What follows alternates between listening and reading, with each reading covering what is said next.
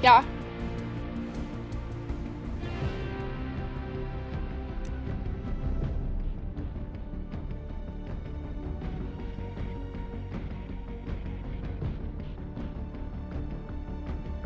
Yo, I don't know the um name of the uh other henchman.